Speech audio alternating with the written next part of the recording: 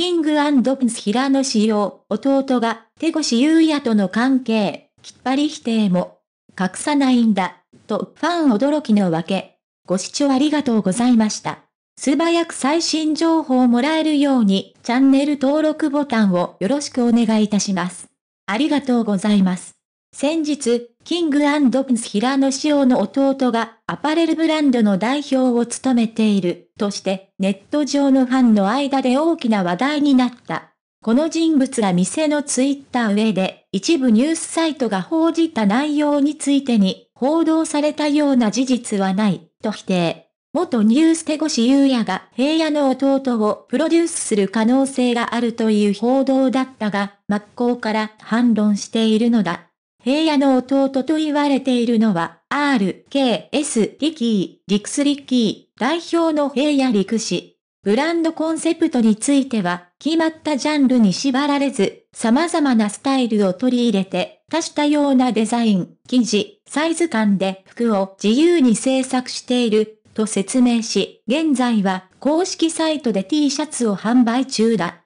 7月11日頃から平野の弟がブランドを立ち上げた、といった噂が広まった影響もあるのか、9800円の R ベイビーホワイトと8300円のヘイヘイブラックヒワイトが完売している21日時点。仕様は小さい頃からダンスを習っていましたが15年ほど前に弟とショー同期というユニットを組んで活動していた時期もあると言います。また、2018年9月に、踊る、さんま御殿、日本テレビ系に出演した際、天然キャラで知られる紫王は、僕の弟が陸っていう名前なんですけど、それはちょっと漢字わからないですね。2文字なんですけど、と告白。司会の明石家さんまから、理はどんな字や、と聞かれると、ちょっと、なんて言うんですかね？四角いんですけど、雲、大体四角ですね。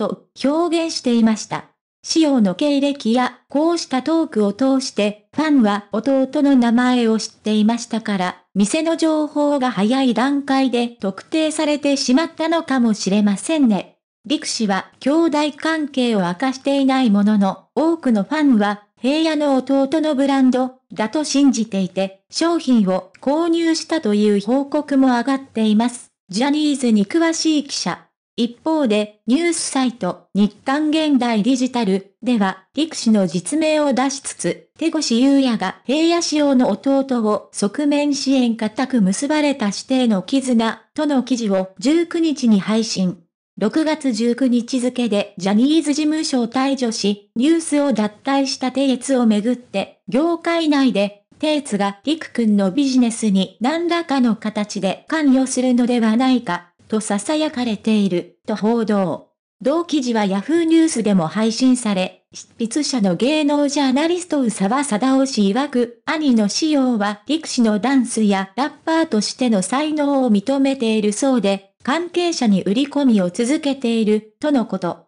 テイツはジャニーズ JR 時代に仕様のボイストレーニングを担当しており、その縁で、リク君の洗剤をテイツに渡していると聞く。実際、退場したテイツはスケジュールに余裕ができ、様々なジャンルの仕事に手を伸ばすのではと言われている。その一つがリク君のプロデュースのようだ、と報じている。すると21日午前1時頃、RKS リキーのツイッターアカウントが、この度、報道にありました主越優也様との関係につきまして、私自身定越優也様とお会いしたこともお話したこともなく、報道されたような事実はないことをご報告いたします。と記事の URL を貼り付けながらツイート。以降の投稿では定越の、優也、の字を間違えてしまったとお詫びし、まだ走り出したばかりの小さな会社ですが、一歩一歩地道に頑張って参りますので、どうか皆様、リクスリッキーの応援よろしくお願いいたします。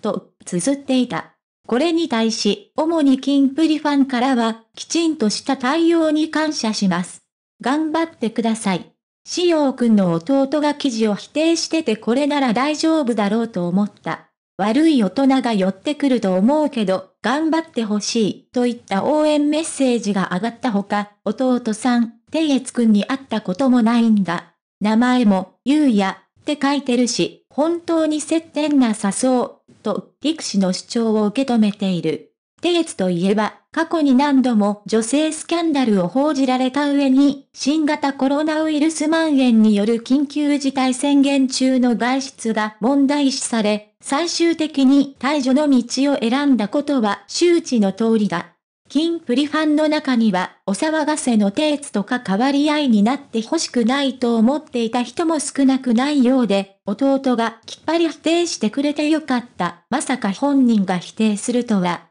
ちゃんとした弟で安心した。スルーするかと思ったけど、否定してくれてすっきりした。テーツと関わりないと分かって安心。と、ほっと胸を撫で下ろしている。陸氏はテーツと対面した事実はないと完全否定している。ものの記事内で平野仕様の弟として名前を出されている点については特に触れていません。例えば、仕様の弟と同姓同名で、実際は全くの別人なのであれば、テーツの件を弁明するよりも、そこをはっきりさせるべきでしょう。となると、結果的に自身が仕様の弟であると認めた形になりますが、一部ネット上でも、平野の弟ってことは隠さないんだ。平野の弟だというのは認めてるんだね。と、驚きの反応が漏れていました。どう？兄仕様は弟のブランド、そして主越の記事をどう捉えたのか、本人の意見や感想が聞きたいところだ。